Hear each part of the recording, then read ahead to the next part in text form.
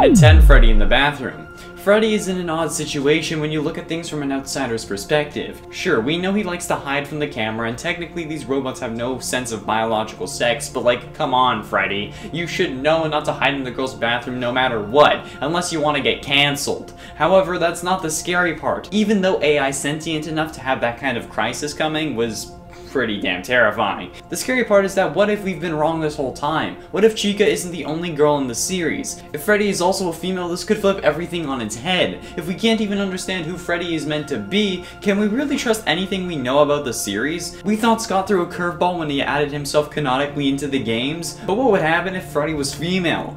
Oh boy, I'm having an existential crisis now.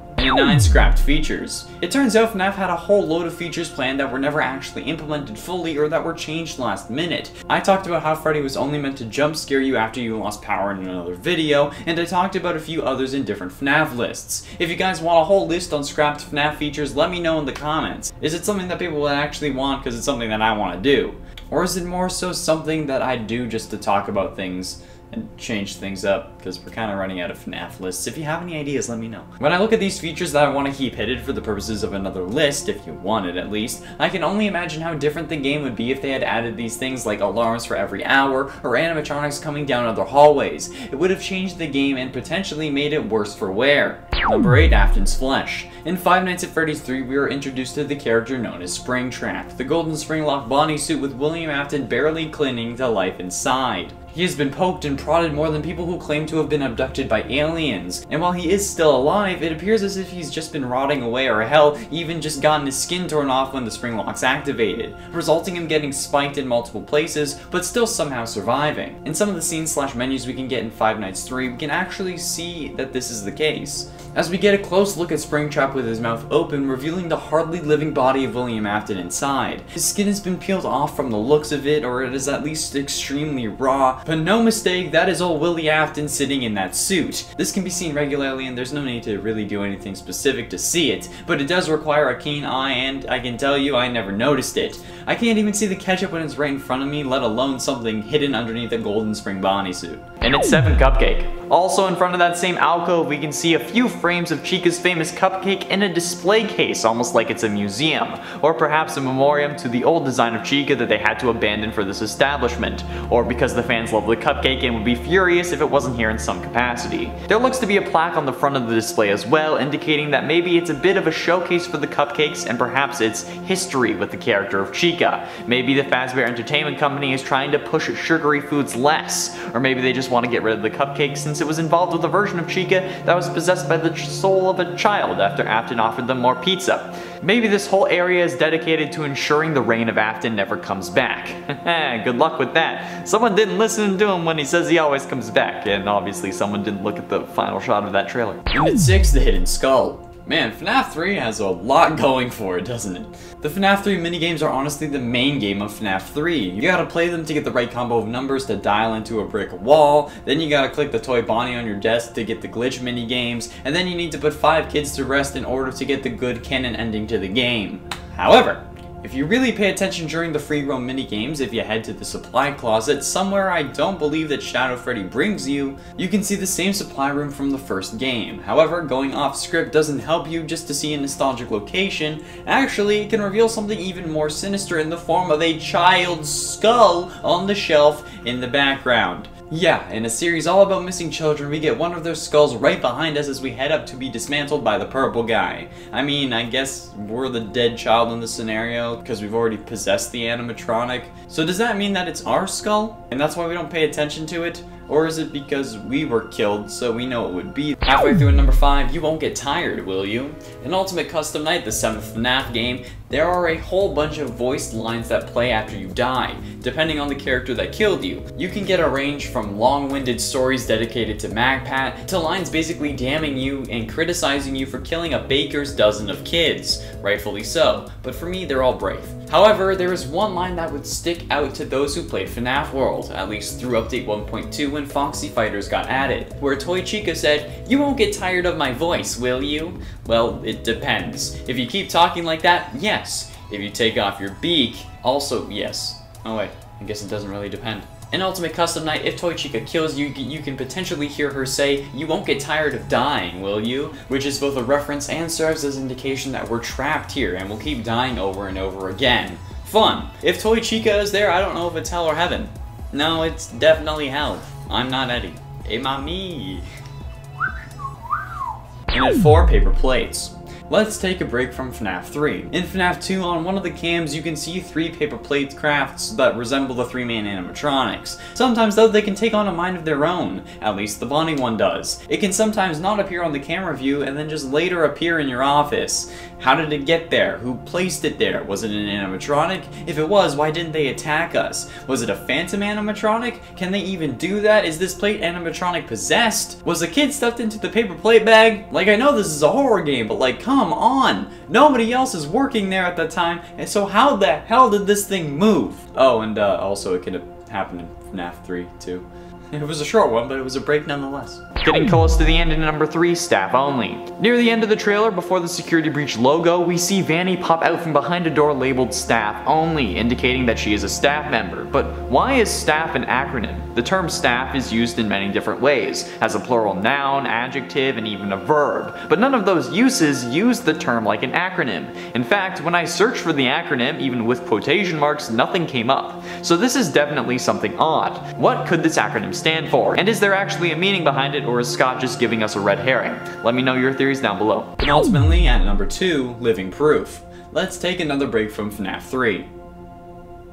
Okay, that's enough. In FNAF 3's minigames, we see the story of how Springtrap came to be. We see Afton dismantle the animatronics and then unintentionally release the spirits of the dead children, who then come to spook him or get an apology. I don't know what the ghosts of five dead kids are gonna do aside from keep you in hell for all eternity until you escape by mind melding with VR video game testers. Anyway, as we see from the game, Afton gets scared by the spirits and then runs into a Spring Bonnie suit to feel more powerful, probably hoping it would scare them because it was this character that killed them in the first place. However, thanks to the water dripping in from the outside, coupled with Afton's haste, he ends up getting snapped by spring locks and collapses. I've seen many comments over the months we've been talking about FNAF where people say that this is where Afton died. This honestly has never sat well with me. I always believed he was alive in the suit and now I know why. In this scene, we never see him stop moving. Sure, he could have died and possessed Springtrap like some have suggested, but if that was the case, he would have stopped moving. He also wouldn't have eyes that are full of life like he does in the Springtrap suit since, as I said before, we can see his flesh inside and those eyes are clearly his.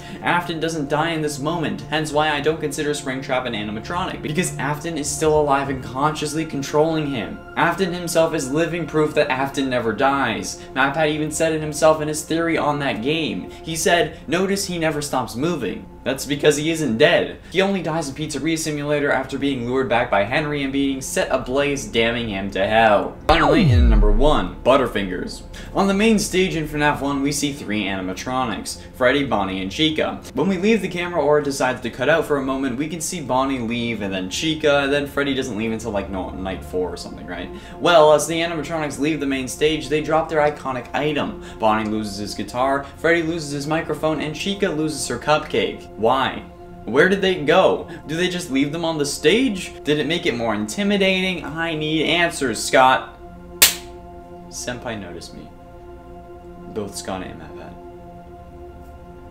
In a 10, Freddy the Red Nose Jump Scare. In FNAF VR, it is actually possible to be jump scared by a random animatronic that you can't see coming while you're in the main room that you start in in the Pizza Party minigame. It appears to be a version of Freddy with glowing red bottom teeth and what look like nostrils to me, but most people are saying eyes but like glowing in the Photoshop sense. Like they only have their outline glowing instead of being bright white on the inside and then glowing outward. It's like when you add a glow to the outside of something. If you have no idea what I'm talking about, just trust me, I, I literally went to, to school for Photoshop. And I make most of the gaming thumbnails. Recently I've been making like all of them, so yeah. I don't know what animatronic this is meant to be, but based on the teeth, it isn't Freddy because he has individual teeth. And it can't be Chica because the mouth shape isn't right, and the nostrils. It's not Bonnie or Foxy either. I really don't know who this could be, but now that I think about it, those are probably eyes. I just like the idea of big gaping nostrils, just like jump scaring you. And at 9, FNAF 3 Puppet. While we all know the puppet for being present in FNAF 2 and also appearing as hallucinations or a minigame character in FNAF 3, you can actually spawn him on the camera. While sometimes you can see the reflection of the puppet's legs in one of the cameras, you can also see what looks to be actual puppet parts in Cam 8 and FNAF 3. While sometimes in that same camera you can hallucinate the puppet, if you look just beside the camera 9's box, you can see something that looks to be a mask, with streaks coming out of the eyes and a mouth just below. This could be the puppet, or just a coincidence. Or maybe it's something else that nobody has really cared enough to look into. I think it's the puppet personally. Maybe not a working puppet, but a puppet figure nonetheless. And it ate chewing gum. Chewing gum recently became a big thing in the FNAF series, only to serve as justification as to the links between two characters. But either way, it's still canon that Michael Afton loves to chew gum. So much so that he actually writes about it in the survival logbook and says that he wants to knock the bad habit. Yeah, it was never demonstrated in the games, and was kind of dismissed in the survival logbook until the latest Fazbear Frights book was released, called Step Closer. That proved who the character of Michael Afton was meant to be, the big brother from FNAF 4, the one who was endearingly called Foxy Bro by MatPat and I'm sure others. This was the only reason that that detail was included, to link him to another character. It was never shown in game, not even indicated. During Immortal and the Restless, he would just sit there eating popcorn and he wouldn't have gum anywhere in sight. I mean, I'm sure this wasn't established yet and Scott didn't think of it, but come on! Imagine if this had been right in front of us the whole time. Ah, that would have been so good. Scott, update sister location. and 7 golden background. FNAF 3 introduced the mechanic of needing to make repairs. Maybe the ventilation got shut down or the audio was corrupted, or maybe the camera stopped working. And if any of this happens, the player needs to reboot that system. While you do this, the cameras you see are just static. However, sometimes the static can sometimes show the face of Golden Freddy. Like, dude, I know times are tough having to deal with like 15 missing children at this point, but there's no need to turn into a cam girl. Not that there's anything wrong with that. Oh crap. I'm not getting out of the semi. No matter what, it is indeed possible to see the face of Golden Freddy in the static. It's not clear, it does take some keen observation, but it's quite subtle. But once you see it, you will never be the same. Mostly because you'll have seen it, and that means that you will have changed, because before, you hadn't seen it. Logic. And at 6, Grandfather Clock. Every FNAF game until Sister Location, you needed to survive until 6 a.m. Doing so would have you complete the night and move on to the next one. However, when you complete a night and make it to 6 a.m., you get notified by a grandfather clock. Obviously, most of us were just so relieved to survive that we didn't pay attention to it, but looking back, why would an alarm at the end of our shift be a grandfather clock? It could be perhaps because everything is just a dream, or maybe we have a custom alarm tone on our phone. I know you can customize ringtones on phones, so perhaps that's why. I mean, you could argue that these games take place before cell phones were common, especially smartphones, but FNAF 3 would for sure take place in an era where phones were common. And Fazbear Entertainment has always been established as a company with technology far beyond its time, so perhaps we can say the same thing for this whole universe. You know, the universe of FNAF has a whole bunch of high-tech tech earlier than it's supposed to. Halfway through number 5, design change. This is something I didn't notice until I went into the comments of that trailer. In the summer of 2020, Funko leaked the designs of the action figures for Security Breach, thus leaking the designs of the animatronics. People were pissed about this, obviously, since Scott had specifically told Funko not to release anything. What is it with Funko and leaks? Anyway, the designs of the characters from the gameplay trailer are actually slightly different to those of the action figures that were released. This is most notable on Roxanne's clothes, where Scott moved the black star shapes, and on Monty's guitar, where he removed or made the black stripes smaller smaller, at least from what I can see. Chica's guitar is also a lighter blue and mostly white, as opposed to white and a darker blue from the original action figure. And the animatronics in the trailer are properly proportioned. The action figure heads just weird me out. Like the pop figures are fine because it's like it's meant to be that way, it makes sense, but the action figures, it's, it's weird. And for a child. Ah, Bachelor number one. The child-eating, capturing, and torturing killing machine that won the last round of the killing floor. However, for those of you who didn't already know, and I'm sure there's at least a couple of you, the body of Funtime Freddy does indeed contain a child, as evidenced by the wireframe blueprint where we literally see a child inside of his containment chamber. I don't know if that kid is dead or alive, but based on the lack of oxygen, I'm guessing he's dead because you know, lack of oxygen. But yeah, in case you didn't know, there is literally a dead kid inside of Funtime Freddy. Do with that what you will.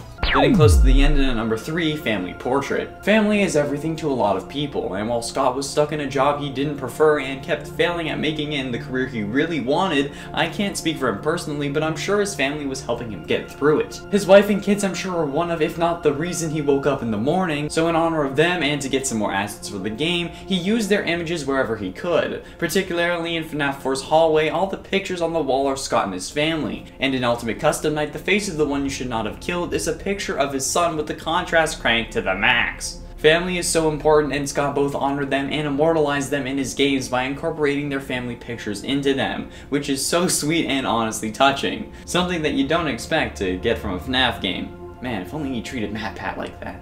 Ultimately, in at number 2, Help Wanted. During an interview around a month or so ago, a representative from Steel Wool Studios said that there was a detail or easter egg in Help Wanted that hasn't been found. I literally mentioned it last number. With the experience the fans have to tearing these games to shreds, it's almost impressive that we don't know where this could possibly be. We've torn the game to bits, we've boundary broke and data mined, but we still missed it? The interview reads, quote, The FNAF fandom is keen at finding hidden secrets in every Five Nights at Freddy's game, but is there something in Help Wanted that the fans haven't found yet? Yes. Oh, did you expect me to say it? No dice. The same interview, the infamous box was mentioned yet again. Could the two be connected? And where could the secret be hiding? Perhaps in the DLC? Curse of Dreadbear was packed with all kinds of easter eggs and secrets. Could it have been there? Perhaps in the hallway minigame? Or maybe we're looking in the wrong place? Let me know your theories down below, and let MatPat know about this, and if he doesn't know already. We all need to put our heads together for this but like with reasonable social distancing and wearing masks, obviously. Put our heads together six feet apart, or more. Finally, in number one, the rules. Thank you to Maggie Shannon on yesterday's community post for pointing this out to me as I was scrolling through the comments. The rules for safety in the Fazbear establishments are simple. They appear on posters in the first FNAF game and they read as follows. 1. Don't run. 2. Don't yell. 3. Don't scream. These seem pretty reasonable, right? Even if 2 and 3 are basically the same thing. But rule 4 is where it gets weird, so I'll save that for last. 5. Stay close to mom. 6. Don't touch Freddy. 7. Don't hit. 8. Leave before dark. I would just take it as leave before closing. Rule number 4 is honestly the weirdest thing and is honestly scary when you think about why they would need this rule. Rule number 4 is don't poop on the floor. I'm being totally honest, you can look at it in-game. Management even thanks you at the end of the sign. The FNAF fandom page has better rules than this. Hell, even most subreddits have better rules than Freddy Fazbear's. And we were all wondering why Afton was killing kids, because there literally has to be a rule about not taking a wicked growler on the floor. Because if I was to do that, I'd be violating at least three rules. Four, two, and three. I didn't want to have to put it out with my fingers, because I would have failed that massively. Four, two, and three. No, there, can't do it. A tent security room. In the shot of the security room where Gregory stands after all the cameras shut off, we see the screens flickering static as if they were unable to show video. However, a closer look actually reveals that these cameras are showing images in the static. Some contrast and brightness tinkering can reveal a slightly clearer picture, but we can't be exactly sure of what it is. To me, it looks like a really blurry version of the supply closet from FNAF 1, at least one of them does. I have a feeling that the glitches are versions of cameras from previous games, and I wouldn't put it past Scott. There are other images that are really really blurry, like really low quality ultrasounds, but if you have any ideas as to what these secret images can be, let me know down below. In at 9, Vanny glitches. During the scenes focusing on the individual animatronics on the elevator, there is text that shows up between each shot.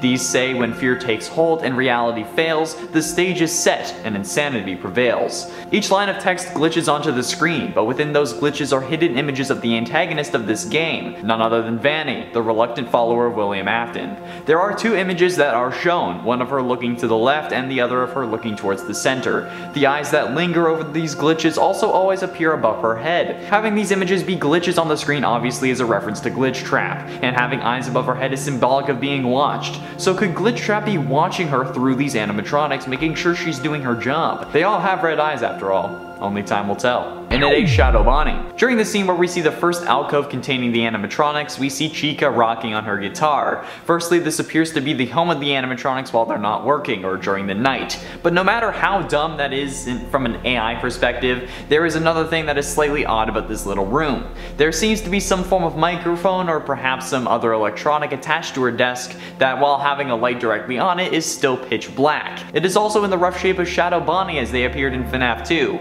It's not perfect, but it's still noticeable if you're looking for it. This could be a coincidence or a nice nod to a character that will be appearing in this game, like how Scott made Chica's Party World for Sister Location. And 7 Realistic Baby. Continuing on about the books and their connections to the games, Baby could very well be a realistic version of Henry's dead daughter Charlotte who goes on to possess the puppet, which would totally be weird because Baby was also possessed by Elizabeth Afton. In the final FNAF novel The Fourth Closet, which is the final novel, the rest are collections of short stories, it's revealed that the main character of Charlie is the last in a series of robots meant to recreate Henry's daughter who was killed at the age of 3. This character is also revealed to be the baby animatronic that can switch between looking hyper-realistic like a normal human, to the normal circus baby we all know and love, with the use of small pins with balls on the ends. And what do we see the circus baby model in the FNAF games? Small pins with balls on the ends. This is something incredibly interesting and revolutionary to the story of the games, but not in like a lore-breaking kind of way, it just shows that baby could look like whoever she wanted to be, and perhaps that's why she led Ennard. But after she couldn't do it anymore because she lost the pins, she was kicked out. I don't know, it's just a theory. A circus baby theory! I blew out the mic. And at 6, the eyes. There is a scene where we are running through maybe what can be thought of as a maintenance tunnel probably below the Pizzaplex. We don't know if anything is chasing us, but we can guess so since this shows over the line they won't stop hunting you, none of them will stop hunting you, suggesting that we are in fact being chased. Now at the very beginning of the scene to the left of the screen, on the very edge we see some lights. However, as our character runs the fence or railing beside us cuts that light into two separate dots, very reminiscent of the eyes of good old Golden Freddy, the one who will not rest torturing Afton's soul in hell. While this may just be a coincidence, we know Scott doesn't do that sort of thing. There were probably multiple shots of this scene and he would have chosen this one because of that tiny detail. That may have been a mistake, but now I can't unsee it. Halfway through at number 5, nicknames. The news clippings at the end of the FNAF games always focus on one article, the place getting shut down, the place reopening, the place burning down, and in the first two FNAF games the stories on the outside weren't actual articles, it was just some random text meant to fill up the space. It's commonly referred to as lorem ipsum, at least it was when I was in school. However, in FNAF 3, Scott decided to include some of the story of him creating the games for the fans with the more powerful glasses in the world.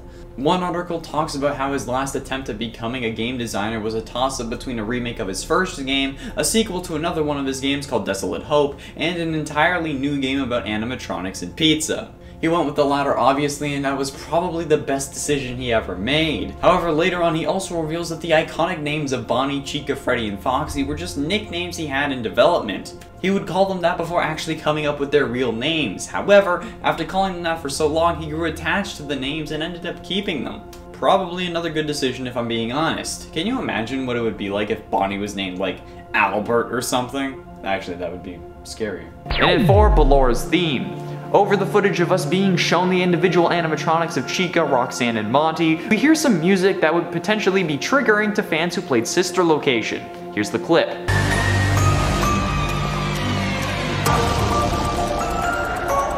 This is very reminiscent of Ballora's theme from Sister Location, not the song she sings, but rather her theme music that has no lyrics.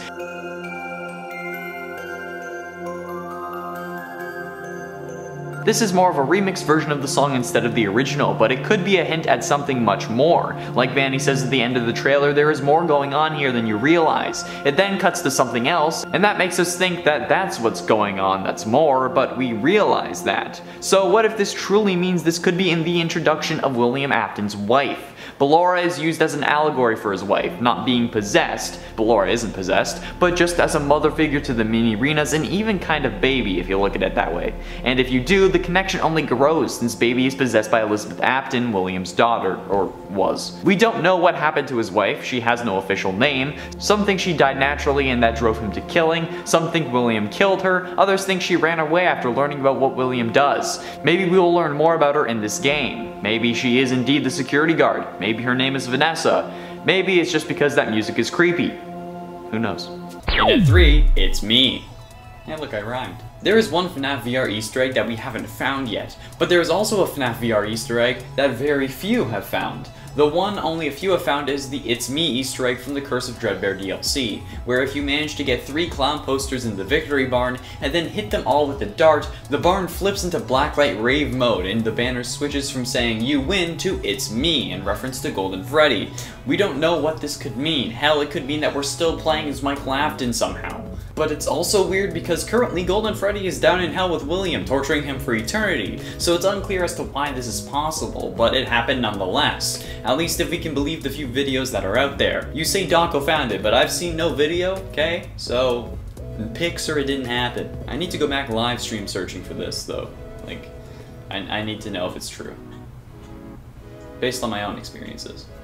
You know, that's the only way we can really know, right? Penultimately in at number 2, purple. The color purple is everywhere in this trailer, no doubt a connection to the purple guy himself, William Afton. The trailer starts off with him speaking and then he is present throughout the whole trailer. There is purple in nearly every shot, and if there isn't, it's a color that makes purple, blue or red. Plenty of the neon lights are purple, purple is a common secondary color throughout the Pizzaplex, even the logo that shines on the wall is purple. Chica's playpen has plenty of purple, the Pizzaplex alcoves have purple, Chica's guitar is purple, Roxanne's leg warmers are either a dark purple or blue, but she's also wearing a red shirt. Monty's gloves and shoes are purple. The only animatronic that doesn't seem to have purple on them is Freddy. Maybe this indicates that he isn't under Afton's control. Everything in this trailer for the most part is related to the color purple. The logo is red and the text is glowing blue. Not to mention the ending with, finally, and at number one, the arm. The final shot of this trailer is clearly a reference to William Afton. I know you noticed that. But what you might have missed, however, is the reflecting purple light that we can see in the reflection of his arm, throwing any theory that this is the Stitchwraith out the window. At least, maybe. The arm also appears to have been melted at some point, or has had something melted onto it, like flesh perhaps, or the remains of a suit that caught fire after being lured there by your son and your former business partner. Hmm?